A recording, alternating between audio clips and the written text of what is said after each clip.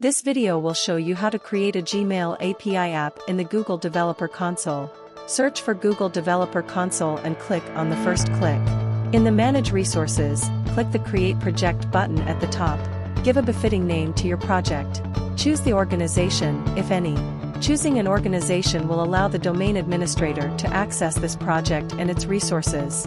Choose the project location then click Create button. In the notification section on the top right, you can see the project creation process going on. Once the project is created, click on the Select Project button. This will open the project's dashboard. Here you can add people to this project, check API requests per second, etc. Now, click on the three lines in the top left corner. Click on the API and Services options.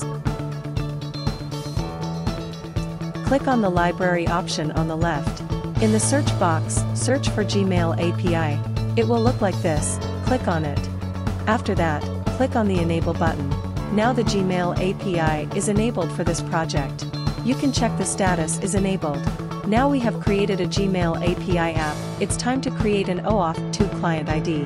After that, select the credentials options on the left. Then, click on the Create Credentials button at the top and select the OAuth Client ID option. Before creating an OAuth Client ID, we first need to configure the user consent screen. First, click on the Configure Consent screen option at the extreme right. Choose the user type either internal or external. If you choose then you need to add users to the list of test users in order to provide access to them. Click on the Create button. Provide the name of the app which is asking for consent. Provide a support email address. REST information includes the app logo, policy page, home page, etc. which is optional. Provide the developer's contact information and click on the Save and Continue button at the bottom. If you want to add some specific data from the user's Google account then you can add scopes accordingly. Next, click on the Save and Continue button at the bottom. Now the consent screen is configured, you need to go back to the dashboard. Click on the Credentials option on the left. Again click on the Create Credentials and select the OAuth Client ID option. Choose the type of application. In our case, it's a web application. Give a befitting name to your OAuth 2 client. In the Authorized Redirect URIs, you need to add your application's redirect URI.